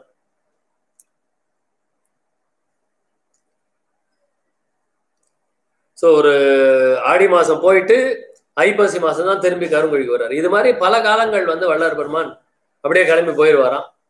அப்புறம் தெரியாது எங்கே இருக்கிறாரு என்னன்னு தெரியாது. ஏதாவது ஒரு ஒரு விழிப்பு கொடுத்தாதான் திருப்பி உடனே நம்ம சுதார் சுதாரிச்சிருப்போம். ஆ ரைட் ரைட் அப்படி. அது மாதிரி வள்ளர் பெருமான் எல்லார்கிட்டையும் ஒரு இந்த இந்த தோளில் இருக்கக்கூடிய அந்த சக்கரம். ஸோ இந்த மாதிரி சக்கராஸ் அப்படின்னா அது வேற விஷயம். அப்படி தூங்க விடாம நம்மளை வந்து தட்டி கொடுத்துட்டே இருப்பார். ஸோ இதுதான் நீங்க வள்ளர் பெருமான் சொல்லுவது. சிவபெருமான் திருவடிகளையும் சிவ பஞ்சாட்சத்திலையும் இடைவிடாமல் தியானம் செய்து வர வேண்டும் என்பது ஒன்றே. நமது திருக்குறிப்பில் காணப்பட்டது. ஆகலில் குறித்தேன் இல்லை. சாகிரதையோடு இருக்க வேண்டும் என்று திருவேங்கட முதலியார் முதலானவர் முதலியானவர்களும் என் வந்தனம் குறிப்பிக்க அப்படின்னு போட்டு ஐப்பசி இருபத்தி மூன்றாம் தேதி. இருபத்தி மூணு ஐப்பசி இருபத்தி மூணு.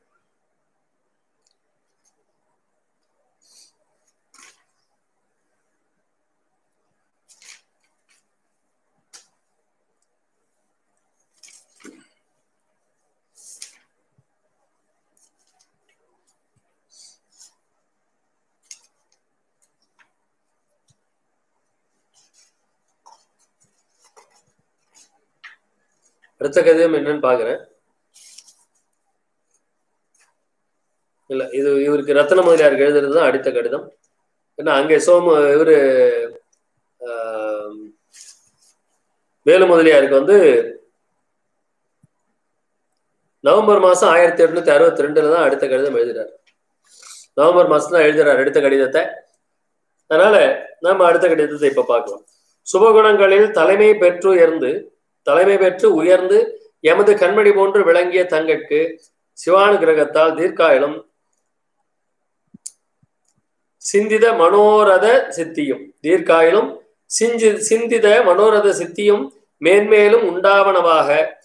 இவ்விடத்தில் நாளது பங்குனி இருபத்தி ஏழு புதவாரம் இரவில் தான் நான் பொசிக்கிற கிரகத்தில் தற்காலம் எசமானனாக இருந்த ராமகிருஷ்ண ரெட்டியார் என்பவர் வானுலகு அடைந்தார். அவர் சம்பந்தப்படி அவர் சம்மதப்படி அவர் தேகம் சமாதியில் வைக்கப்பட்டது.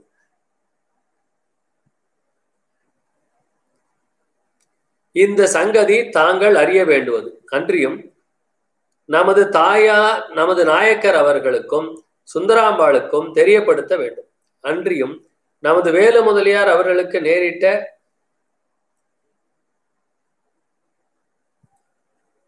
அவர்களுக்கும் நேரிட்ட தெரிய நேரிட்ட போது தெரியப்படுத்த வேண்டும். இதுவன்றியும் சுந்தராம்பாளுக்கும் அத்தானுக்கும் நமது நாயக்கருக்கும் நமது வேலு முதலியாருக்கும் தாங்கள் அவசியம் அறிவிக்க வேண்டுவது ஒன்று. அதாவது சித்திரை வைகாசி இவ்விரண்டு மாதமும் போக ஆன்மீக அப்படின்ற அடிப்படையில் இருக்குது. ஆடி மாதம் இருபத்தி இரண்டாம் தேதி தேக நிகழ்ச்சி வந்து பத்தொன்பதாம் தேதி. சரிங்களா? சோ இது மாதிரிதான் இந்த கடிதத்தை எழுதுறார் ராமகிருஷ்ண ரெட்டியார் என்பவர்.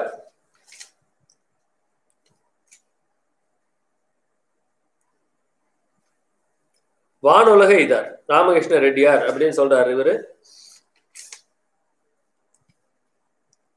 இரவில் நான் பொசிக்கிற கிரகத்தில் தற்காலம் எசமானனாக இருந்த ராமகிருஷ்ண ரெட்டியார் என்பவர் வானுலக அடைந்தார்.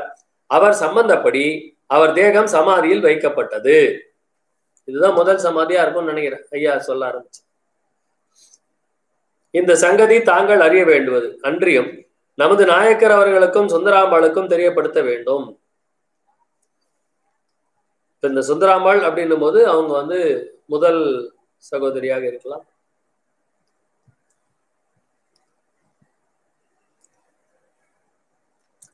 இதுவன்றும் சுந்தராமாளுக்கும் அத்தானுக்கும் நமது நாயக்கருக்கும் நமது வேலு முதலியாருக்கும் தாங்கள் அவசியம் அறிவிக்க வேண்டுவது ஒன்று. அதாவது சித்திரை வைகாசி காசி இவ்விரண்டு மாதங்களும்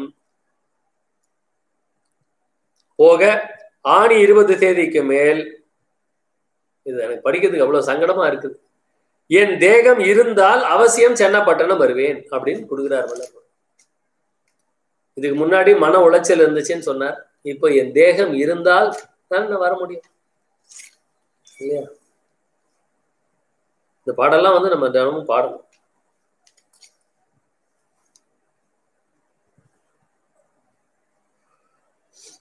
அவங்களுக்கு ஒண்ணு சொன்னுங்க அதாவது சித்திரை வைகாசி இரண்டு மாதமும் போக ஆணி இருபது தேதிக்கு மேல் என் தேகம் இருந்தால் அவசியம் சென்னப்பட்டேன்னு. வருவேன். இப்பதான் வந்து கொஞ்சம் தேதியை சொல்றார்.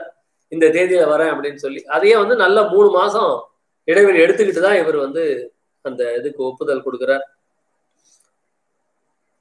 அது பரியந்தம் இவர்களுள் சுந்தராம்பாள் அத்தான் இவர்களுக்கு இவர்களுக்கு முன் இவர்களுக்கு முக்கியம் தெரிவிக்க வேண்டியது ஒன்று. ஏனெனில் மேற்குறித்த ஆணி இருபது தேதி பரியந்தம் பட்ட பாட்டை பட்டு கொண்டிருந்தால் அதன் பின் அவர்களுக்கு எந்தெந்த விஷயத்தில் நிர்பந்தங்களோ அவைகளை எல்லாம் நிவர்த்தி செய்து பிரயாசம் தோன்றாதபடி செய்விக்கலாம் அப்படின்னு உறுதிமொழி கொடுத்தது வல்லபெருமான் தான். எவ்வளவு டாக்டர் பார்த்துருப்பாங்க? ஒன்றும் வேலைக்காக அதுக்கப்புறமா தான் இங்க வராங்க. இங்க வந்தாங்கன்னா அப்புறம் மறுபடியும் டாக்டர் எல்லாம் தேடி போறது அவசியமே இல்லை. அதனால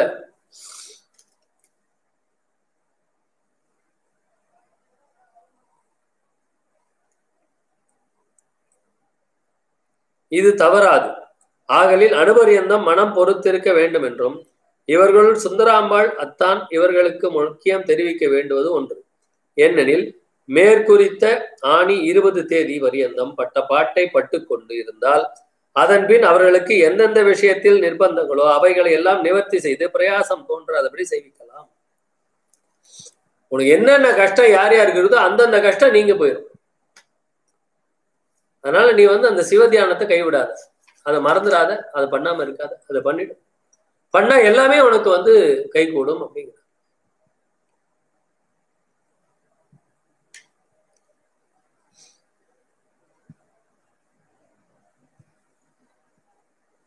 அதன் பின் அவர்களுக்கு எந்தெந்த விஷயத்தில் நிர்பந்தங்களோ அவைகளை எல்லாம் நிவர்த்தி செய்து பிரயாசம் தோன்றாதபடி செய்விக்கலாம் அப்படின்னு பதில் சொல்றார். இது வந்து வினா எதில் வினாதர் விடை அப்படின்னு சொல்லுவாங்க. என்னன்னா ஆசிரியர் வந்து பாடம் நடத்துறார். திடீர்னு ஒருத்தனை கூப்பிட்டு சொல்லு அப்படிங்கிறாரு அவன் பேர் வந்து முழிக்கிறான். இல்லையா? அதே ஆசிரியர் அந்த ஒயர் எடுத்துட்டு போய் பிளக்கில் போட்டு ஆன் பண்றார். இது ஃபுல்லா வந்து சார்ஜ் ஆயிடுது. ஃபுல்லா சார்ஜ் ஆயிடுது.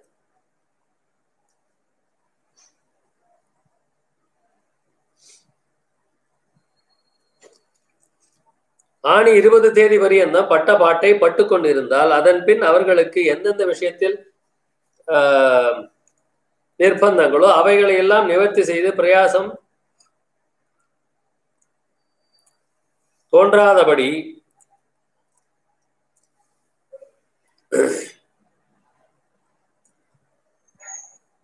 மேற்குறித்து ஆணி இருபது தேதி வரையும் பட்ட பாட்டை பட்டு கொண்டிருந்தால் அதன் பின் அவர்களுக்கு எந்தெந்த விஷயத்தில் நிர்பந்தங்களோ அவைகளை எல்லாம் நிவர்த்தி செய்து பிரகாசம் போல் என்று உறுதி செய்து கொள்ள வேண்டும். நமது நாயக்கர் அவர்களுக்கு நான் சொல்லிவது தேகத்தை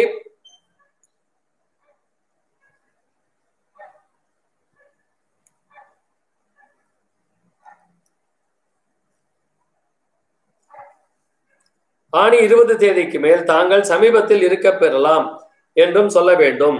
அது என்ன இருபது தேதிக்கு மேல்? இந்த ஆணி இருபது தேதிக்கு மேல் தாங்கள் சமீபத்தில் இருக்க பெறலாம் என்றும் சொல்லுதல் வேண்டும் வருத்தப்படாத ஆணி இருபதுக்கு மேல அவங்க எல்லாம் வந்து என் கூடவே இருக்கலாம் அப்படின்னு சொல்ல வர்றார்.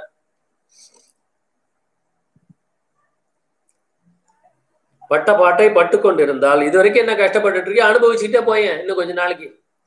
இன்னும் கொஞ்ச நாள் அனுபவிச்சுக்கிட்டே போ அப்படின்னு சொல்றார்.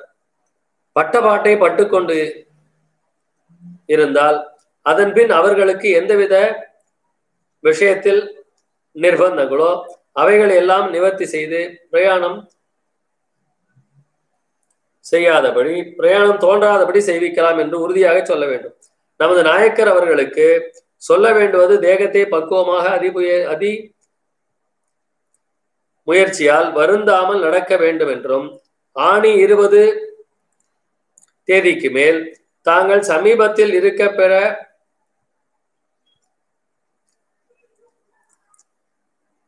தாங்கள் சமீபத்தில் இருக்க பெறலாம் என்றும் சொல்ல வேண்டும். நமது வேலு முதலியார் அவர்களுக்கு தற்காலம் தேகம் எந்த பக்குவத்தில் இருக்கின்றதோ என்கிற ஐய உருவோ உருவோடு இருக்கின்றேன் என்றும் சொல்ல வேண்டும். தாங்கள் தேகம் தேக முதலிய கருவிகளை ஜாக்கிரதையாக வைத்திருக்க வேண்டும். அவசியம் அவசியம் தமைக்கும் ஷயாருக்கும் கடிதத்தின் வண்ணம் தெரிவிப்பது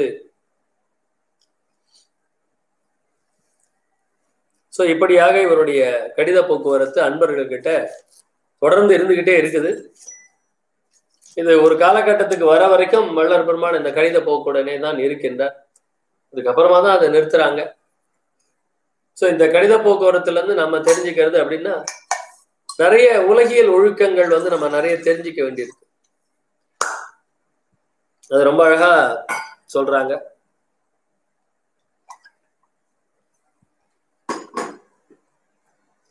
ஸோ இந்த கடிதங்கள் அப்படின்னு சொல்லும்போது எவ்வளவுதான் பெரிய விஷயமாக இருக்கின்றது?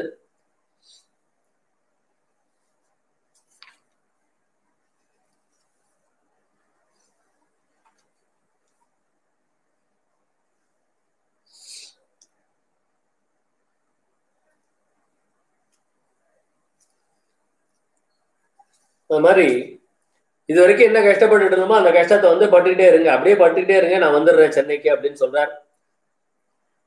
ஆகலில் அது வரையும் மனம் பொறுத்திருக்க வேண்டும் என்றும் இவர்கள் சுந்தராம்பாள் அத்தான் இவர்களுக்கு மிகவும் தெரிவிக்க வேண்டியது. ஏனெனில் ஆதி ஆடி இருபது தேதி பரியந்தம் பட்ட பாட்டை பட்டு கொண்டிருந்தால் அதன் பின் அவர்களுக்கு எந்தெந்த விஷயத்தில் நிர்பந்தங்களோ அவைகளை எல்லாம் நிவர்த்தி செய்து பிரயாசம் தோன்றாதபடி செய்விக்கலாம் என்றும் உறுதியாக சொல்ல வேண்டும் அப்படின்னு கொடுக்கிறார். ஸோ இவ்வளவுதான் இந்த இன்றைய கடிதங்கள். அடுத்த கடிதம் ரொம்ப சுவாரஸ்யமானது. இருந்தாலும் நண்பர்களே இந்த திருமுகங்கள் என்பது நாம் ஒவ்வொருவரும் கண்டிப்பாக பார்த்து ரசித்து குறிப்பு எடுக்க வேண்டிய ஒரு பகுதி. ஏனென்றால் இந்த திருமுகங்களின் வாயிலாக வல்லர் பெருமானுடைய எண்ணங்கள் நம்மளால பார்க்க முடியுது. ரத்தன மொழியார் மேல் வள்ளர் பெருமான் கொண்டிருந்த அந்த அந்த நட்பு அந்த வார்த்தைகள் அப்படிலாம் பார்த்தீங்க அப்படின்னா வள்ளர் பெருமானுக்கும் ரத்தன முதலியாருக்கும் எவ்வளவு நெருங்கிய நட்பு நம்மளால் கண்டுபிடிக்க முடியும். அந்த அளவுக்கு வள்ளர் பெருமான் ரத்தன முதலியாரிடம் நன்றி பாராட்டி நம்ம வந்து நம்மளுடைய அந்த குழு அப்படிங்கிறதுல வந்து வாட்ஸ்அப் குழு இருக்கு இல்லையா? அதுல பல் துலக்குதல் தந்த சுத்தி செய்தல் அப்படிங்கிறத பத்தி நம்ம விசாரம் பண்ணிட்டு இருக்கிறோம். இந்த பல் துலக்குதல் அப்படின்னு சொல்லும்பொழுது நம்ம எல்லாருக்கும் அந்த பேஸ்ட் ப்ரஷ் எல்லாம் தான் தெரியும் இல்லையா? ஸோ அதையெல்லாம் மாத்தி அமைச்சு நம்ம மறுபடியும் பழங்காலத்துக்கு போகணும் அப்படிங்கிற அடிப்படையில் அதை பண்ணிட்டு இருக்கிறோம். அதனால அந்த குழுவில் இருக்கிறவங்களுக்கு அது தெரியும். இல்லாதவங்க உங்க நம்பரை சொல்லுங்க அந்த குழுவில் நம்ம சேர்ந்துக்கலாம். என்று தெரிவித்து இன்றைய நிகழ்வை நம்ம இத்துடன் நிறைவு செய்யலாம். நாளை மாலை ஆறு முப்பதுக்கு நம்ம இந்த திருமுகங்களையே பார்க்கலாம். அதுக்கு அடுத்தது சனிக்கிழமை. சனிக்கிழமை என்ன ப்ரோக்ராம் என்ன பண்ணணும்? கேள்வி பதில் பண்ணலாமா? வேற ஏதாவது பண்ணலாமா? அப்படின்னு விண்ணப்ப வச்சிருந்தேன். ஸோ அதை பத்தி இன்னைக்கு கொஞ்சம் எனக்கு வாட்ஸ்அப்ல தகவல் செய்யுங்க. ஏன்னா அது உடனடியே நம்ம செயல்படுத்தினாதான் ஞாயிற்றுக்கிழமை சனிக்கிழமை சாயங்காலத்துக்கு சரியாகும். அதனால சனிக்கிழமை மாலை என்ன பண்ணலாம் அப்படிங்கிறத வந்து தெரியப்படுத்துங்க அப்படின்னு சொல்லி எனது சொற்பொழிவை கேட்டுக்கொண்டு இருக்கக்கூடிய உங்களுக்கு நன்றி பாராட்டி அதை நிறைவாக கேட்ட உங்களுக்கு நன்றி பாராட்டி இன்றைய நிகழ்வை நிறைவு செய்யலாம். நன்றி வணக்கம். என்னமோ சொல்லணும்னு நினைச்சிட்டு இருக்கேன் மறந்து போயிட்டே இருக்கு.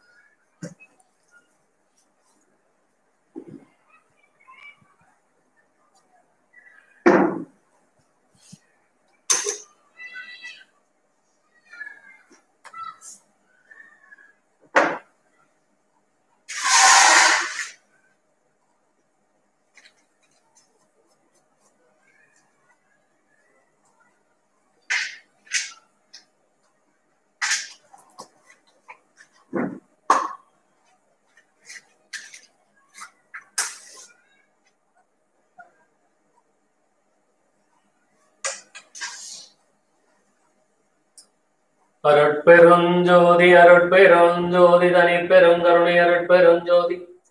திருவருட்பிரகாச வள்ளலார் திருவடிகளே சரணம். ஜோதி ஜோதி ஜோதி சூயம். ஜோதி ஜோதி ஜோதி பரம். ஜோதி ஜோதி ஜோதி அருள். ஜோதி ஜோதி ஜோதி சிவம். வாம ஜோதி சோம ஜோதி. வானஜோதி ஞான ஜோதி மாக ஜோதி யோக ஜோதி வாத ஜோதி நாத ஜோதி ஏம ஜோதி வியோம ஜோதி ஏறு ஜோதி வீர ஜோதி ஏக ஜோதி ஏக ஜோதி ஏக ஜோதி ஏக ஜோதி ஆதி நீதி வேதனே ஆடல் நீடு பாதனே வாதி ஞான போதனே வாழ்க வாழ்க நாதனே வாதி ஞான போதனே வாழ்க வாழ்க நாதனே. சர்க்குருநாதா சர்க்குருநாதா சன்மார்க்க சங்கம் தழைக்க அருள் தாத்தா. ஓம் ஸ்ரீராமலிங்காய நமக ஸ்ரீராமலிங்காவயம் அபயம் அபயம் ஓம் ஸ்ரீராமலிங்காய நமக ஸ்ரீராமலிங்கா போற்றி போற்றி போற்றி. ஓம் ஸ்ரீராமலிங்காய நமக. எல்லா உயிர்களும் இன்புற்று வாழ்க வள்ளல் மலரடி வாழ்க வாழ்க. ஓம் ஸ்ரீராமலிங்காய நமக. நாளை மாலை ஆறு முப்பது மணிக்கு சந்திப்போம். நன்றி வணக்கம். சனிக்கிழமை என்ன பண்ணலாம்னு கொஞ்சம் அனுப்புங்க. அதை பத்தி கொஞ்சம் இன்னைக்கே அனுப்புங்க. கொஞ்சம் என்னுடைய நம்பருக்கு என்னுடைய எண்ணுக்கு தொடர்பு கொள்ளுங்கள். நன்றி வணக்கம்.